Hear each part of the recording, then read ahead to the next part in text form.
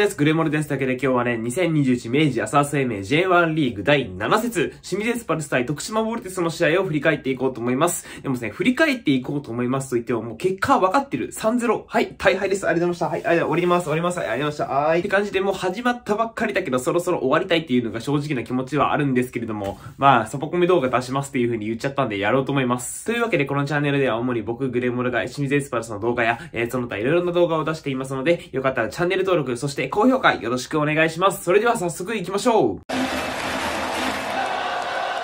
はい、いつもはね、こういう風に試合前のね、えー、ツイッターの回ってきている情報っていうのをいろいろ整理したりして、こうやってコメントで発信してるんですけれども、あの、これを今回やり忘れました。はい、ごめんなさい。すいませんでした。ごめんなさい。完全に僕のリサーチ不足だったし、あの、それを気づいた頃には試合が始まっちゃってたんで、今回は今までのその中断期間中の2週間にあった出来事的なものをね、えー、大雑把に振り返っていこうと思います。まずは代表ウィークでゴンタ選手が無失点記録を更新したということ。ユイト選手がプロ初ゴール、ユイト選手、やったやったやった、やったや。あと、しれっとカルリーノス選手がね、えー、母国ブラジルで結構インタビューを受けたみたいな、そんな感じのものありましたね。インタビューっても多分オンラインだと思うんだけどね。でもなんか注目されてるフォワードみたいな感じでね、えー、報道されていたらしいです。で、最後はね、僕が見つけたやつなんだけど、エスパルスのね、えー、ブラジルの通訳をしているルイス通訳が、えー、実はこのエスパルスに入る前に徳島に在籍していたんだけども、この徳島在籍していたということは、フルス対決ということでね、えー、意外とそこのつながりがあったっていう感じなんですけども、さてどうなったのででしょうかというわけで、まずはスタメンの方を見ていきましょう。というわけで、エスパルスのスタメンがこちらとなります。えー、442という形で、えー、2トップ待って、え？やばい、これごめん、カルリーノスって書いてあるけど、これ後藤選手ね。後藤選手とか、あの、チアゴ・サンタナ選手のツートップという形になっていて、で、基本的には、バンカップでやっていた、えー、メンバーで調子のいい選手っていうのを基本使っていたという感じになっていると思います。それプラス、あのー、まあね、主力選手の融合っていう形になっているかなっていう、そんな印象を抱きました。サブの選手はこちらです。ディサロ選手が入ってないってことで、ちょっとびっくりしたんだけどね。まあまあまあまあまあまあ、最近まだちょっとね、調子が出てないような感じもしたし、結果的にもまだローゴールっていう形だったんで、まあ仕方ない部分はあるんじゃないかなって思うね。続いてボルティスのスタメンがこちらの11名となります。基本4-2-3-1という形で、リカルド・ロドリゲス監督のね、えー、サッカーをしっかり踏襲しているという形になってます。と言ってもリカルド監督も退任して浦和の監督になっちゃったけどね、えー、しっかりどれぐらいまだ続いているのかっていうね、ちょっとそこを注目して僕は見てました。サブの選手はこちらです。ちょっとね、僕注目したのが藤田選手でね、藤田選手確か、えー、ヤベッチスタジアムのデジッチでめちゃくちゃゃくちゃいじられてた印象があったんで、サブで出てきたらちょっといいなーっていうふうに思ってました。というわけで試合がどういう風に進んだのかというのを、えー、振り返っていこうと思います。まあ、振り返りたくないけど。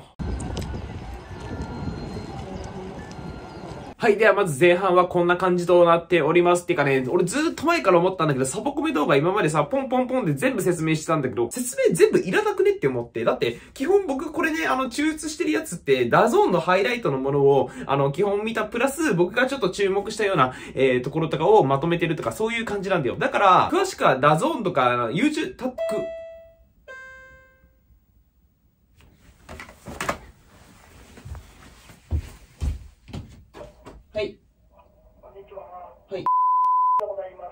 はい。はい。ことこちら、あ、なるほど。はい。なので結構です。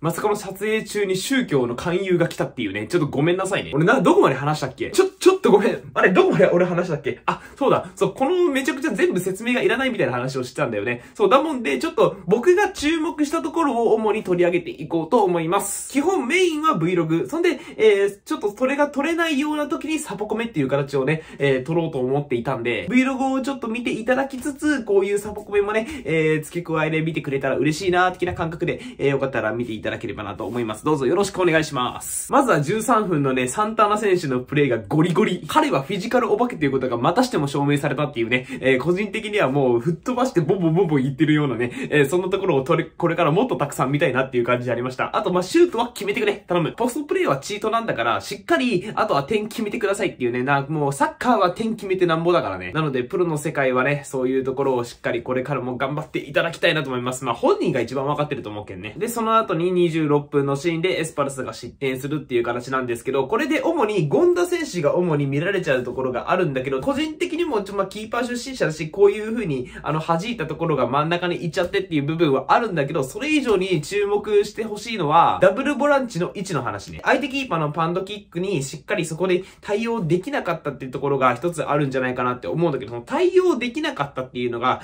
えー、僕はちょっと思うところがあって、あの、めちゃくちゃ幅を広げてたじゃん、ダブルボランチのその真ん中の部分ね。俺それね、あえて広げてたんじゃないかなって僕は思ってて、で、他のね、ツイッターで書かれてた人もいたと思うんだけど、基本ロティーナ監督ってパスカットをして、え、しっかりそこから、あの、堅守速攻みたいな形もできるようにしようね、みたいな、そんな形のものがあるんだよ。基本的にはまあ、ボールをゲームね、全部支配しつつって感じなんだけども、あの、守備の時はそういう風な形をとっているんだよね。だから、あえてパンドキックを打たせて、えー、そこに来たボールをカットしようみたいな、たいなそういう趣旨だったと思うんだけど、それがちょっとできずに後手後手に回って、えー、しかも最後失点しちゃうっていう、そこでこのプレーがちょっとうまくいかなかったせいで、なんかチームもあんまり、お、お、お、みたいな感じになっちゃったんじゃないかなって僕は思ってるよ。逆にここのシーンがね、総崩れしなかったら、あの、また別のね、ゲーム展開になっていた可能性も十分あるなって思ってます。だからこの試合の一番のターニングポイントはここだったっていう風に、えー、僕は解釈してます。皆さんがどう思うかは、ぜひ下のコメント欄で教えててください。というわけで前半はこの3つのシーンのうちの2つを取り上げさせていただきました。というわけで後半ちょっと移っていきましょう。はい、まずの後半のね、一番最初に VAR のね、あの、物議を醸したハンドのシーンがあったんだけども、俺ね、それでに関してはちょっと言いたいことがあって、あのジャッジは正しかったと思う。あの VAR の画面が2つあって、確か僕が見た感じ、左側の画面が、あの、あんま触ってないんじゃないかみたいなね、ここの胸あたりじゃないかって思ったんだけども、その右側のこう、こう言ってたよね。こう言ってる時のこの、この仕草がなんか当たってるような完全な仕草だったし、ちょっと微妙な心位置だったから、僕が主審をやっていたとしても、このプレイを見て、どっちですかって判断するんだとしても、俺は、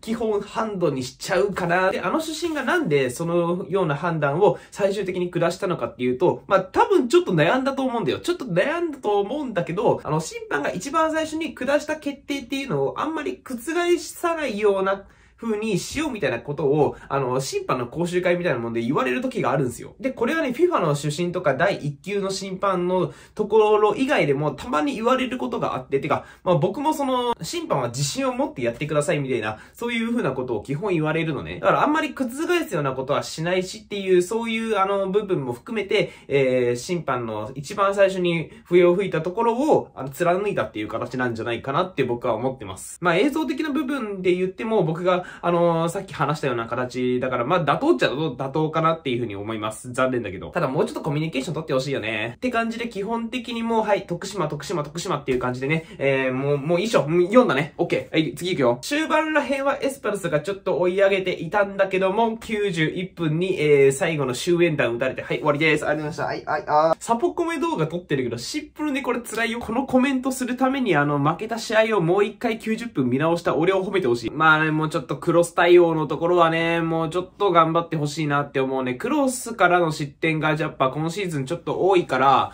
うん、そういうところはね、修正してほしいですよね。はい、というわけで試合の結果はご存知の通り、ボーンと、はい、0対3で終わりです。はい、終わりです。はい。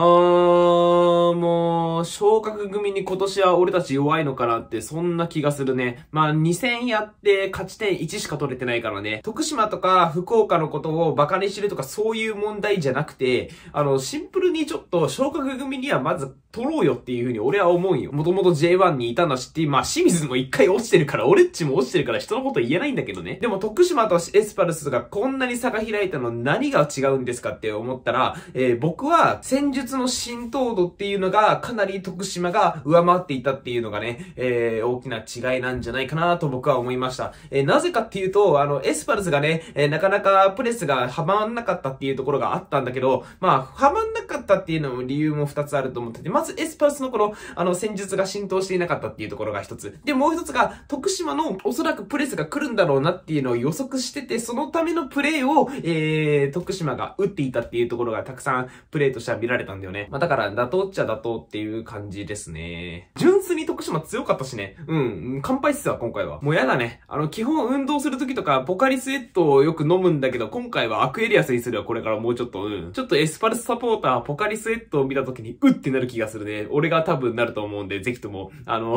うってなった人コメントください。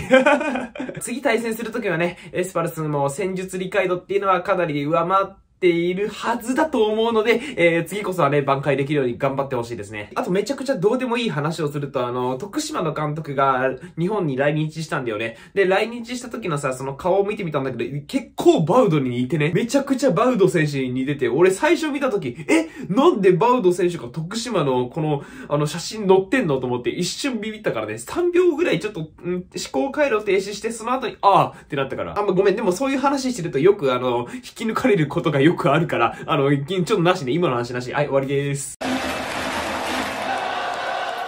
そんでちょっと話は変わるんだけどね、えー、Vlog 動画を見てくださった方はわかるかもしれないんですけど、僕がよくお世話になってるね、えー、お店がミルククラウンさんっていうお店があるんだけども、あの、そのお店がエスパルスのネオン管を買いたいということで、えー、募金プロジェクトみたいなものをやっております。僕も募金したので、ぜひとも皆さんこちらよろしくお願いします。これからね、毎回こういう風に動画で宣伝していこうと思うんで、どうもミルクの福井部です。よろしくお願いします。よろしくお願いします。あとごめんなさい。最後に一つ何回か僕もね、えー、使わせていただいているこのリモートチャーラーさんなんだけども、今までアイコンが自分でやりたい画像とかをね、えー、することができなかったんだけども、今回それができるようになったらしいんだよ。で、それプラス、ちょっといろんなね、アップデートも重ねつつっていう感じだったので、えー、ぜひともリモートチェアラ、こちらもね、えー、いろいろ使ってみてはいかがでしょうか。リモートチェアラについての動画はですね、鹿島線の動画で言っていますので、下の概要欄にそちらも貼っておきます。よかったらそちらもチェックしてみてください。撮影の前にリモートチェアラさんのツイッターヒュって見てみたら、藤田咲さんがやるらしいんだよね。ずるくないと思って。藤田咲って誰なんじゃっていう方がいると思うからちょっと説明するけど、基本僕ボーカロイドを聞くのがすごい好きなんだけども、あの、僕らでよく初音ミクとか聞いたことあるでしょ？その初音ミクの声の主の人ね、ミクの声の主の人がやるとか言ってる、マジでずるくねプロ野球の確かカープ対タイガースだっけかな？あの、やるらしいんだけど、ちょっとずるいのでエスパルスのちょっともうちょっと、あの、そういう系の人呼んでください。お願いします。お願いします。そろそろ僕もね、この動画終わりたいなと思います。皆さんこの試合についてどう思いましたか？ぜひ下コメント欄で教えてください。そしてこの動画がちょっとでも良かったよと思ってくださった方は高評価